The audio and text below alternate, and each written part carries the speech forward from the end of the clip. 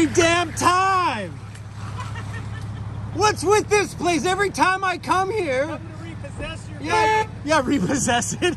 What's up, weirdo? What's going on? How you doing, buddy? this is the best thing ever. During the pandemic, a lot of people did crazy things. Moved off grid, some people even left their vans behind and went back to the old lifestyle where things felt a little bit more secure and less chaotic. Me, what did I do? I turned my van into the ultimate off grid rig. But during a pandemic, what's better than one van? An army of vans. What do you guys say? My home and then our adventure rig? You think we should add that to the Van City Van Life? Well, we can call it a team now. What do you guys think? It does have a 4x4 conversion. It has two high output alternators. The differentials are Dana 60. I do know that one. And when it comes to four wheel drive stuff, I don't know what I'm looking at. I had a chat with uh, John at J5 Custom Vans today. Yeah, and everything on the backside here, this is all fiberglass. So there's gonna be no rust on the bottom section of this stuff anywhere. And uh, that's always nice to know that the only place that we're gonna deal with rust is here. And looking underneath here, everything looks really good all along there. There's no, like you can even see the screw mounts and stuff. It's probably hard to see on here. So yeah, things aren't rotted through. Things look really, really good.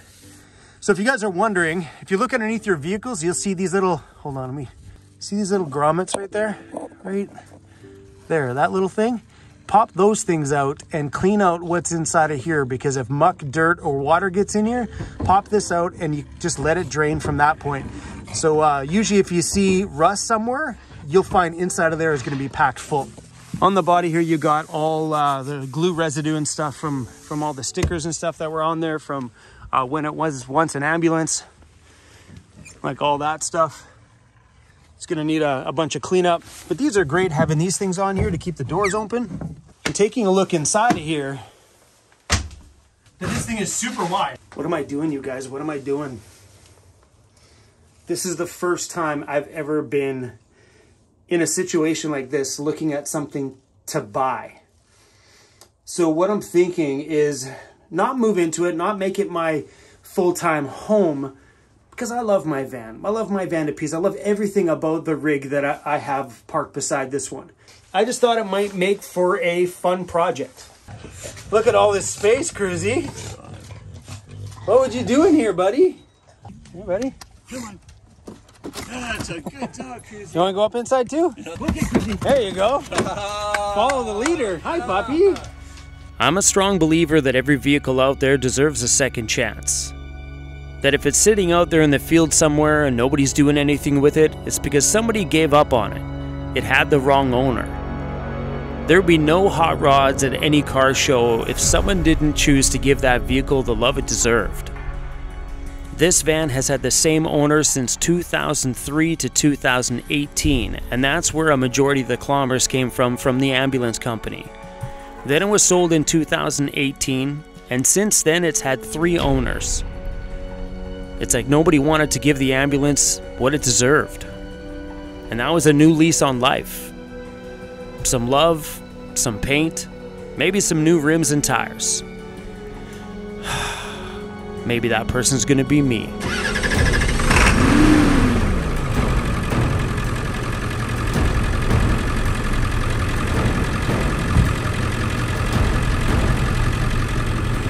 Now tell me something. Does that not sound like it's ready for some time in the push?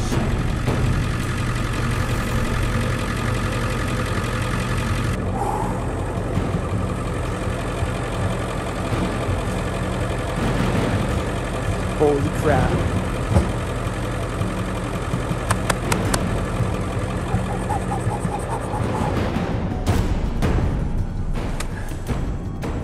What do you guys think?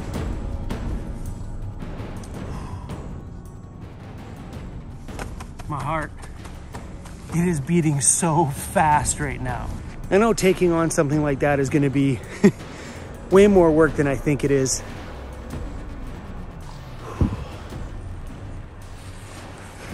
I do have to say though, my heart's beating a mile a minute. Not because I think it's a bad decision, but because that's a pretty big decision to buy a secondary rig to work on. the reason why it's a big decision is not so much the work and the time because I'm willing to put in the work and, and time. This is what we do here on this channel is that we adventure and we build vans. It's what I've been doing this whole time is building my van. And the thought of having a secondary project is, is pretty appealing. When I left his place that night, I told him I need a night to sleep on it. Because you don't want to make a big decision like that without having a moment away from the owner of the vehicle to really think about everything. I took enough pictures and enough video that I went back to the van and I got to relook over everything. And now it's a brand new day. The big decision. Well, you guys, I've been uh, thinking about that ambulance a lot. It was my first thought when I woke up this morning. I know a lot of you are going to be experiencing these same feelings when you buy your first van. And I want you guys to know these feelings are normal. It's okay to be a little bit scared as long as that feeling in your stomach is telling you crystal clear that it's a good idea. And when I woke up today, everything inside of my stomach said just do it. Ready? Are we ready to send this? Good morning, Jim. I will take the ambulance. Did we just buy an ambulance? Did we just do this? I've got the AC on high, and Mr. Cruz is sitting there with his, you know, balls pointing at the heat vent because his balls. Are your balls hot, buddy? It's just hot. My balls are. Let's feed Mr. Cruzy, even though he's passed out sleeping.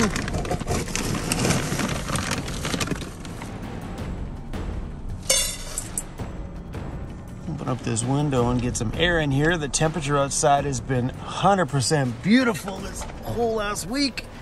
Now I know what some of you feel like when it comes to purchasing a van. I haven't felt this feeling, well, since I bought this van, which was uh, just about four years ago going on. And uh, it's it's a lot. When you spend a chunk of money, it's like, and you see that money leave your bank, you're like, oh no, oh, oh no. But I know when it comes to purchasing this ambulance that it's going to be a bit of an investment. So by the time we do all the little bit of work to it, and because it's an ambulance and it's a 4x4 and a 7.3 diesel, I know it's an investment. So if I put money into it, I know for sure I'm going to get that money back out and I'm probably going to profit on it. So the reason why I'm buying it, it's not because I need another van, because I don't. It's not because I'm tired of this van and it's time to move on. Heck no. I love this thing. This rig is my heart and my everything. This thing got me out of debt. This thing got me where we are here today on YouTube. And it's this thing that I want to ride into my future and just have some fun in my van. I love it. I am buying the ambulance for the channel. So now that my van is complete, there's nothing more inside here we can do. This thing is dialed to the max. It's perfect. And now that we're getting the lift kit soon, the locking differential in this thing, and a larger diff from an F350. So it's a one ton diff instead of a three quarter ton that's in mine now. So it'll take the abuse in the bush. This thing is going to be rock solid and set this summer, and I am stoked on it. I'm purchasing the ambulance so we can continue with building stuff on here. And if I were to buy another van, then we'd just be back doing it all over again. That's why when the ambulance came along, I was like, oh, hold on a second. This could be a whole new educational experience for me and for you guys, giving us a little bit of a different build than I did the first time.